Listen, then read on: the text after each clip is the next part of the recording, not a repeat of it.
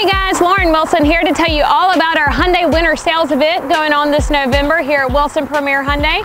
Right here I've got a 2022 Hyundai Sonata N Line and a 2022 Hyundai Santa Fe. Right now with Hyundai you can get 0% for 48 months and 90 days deferred to payment. That's right, absolutely no payments for 90 days.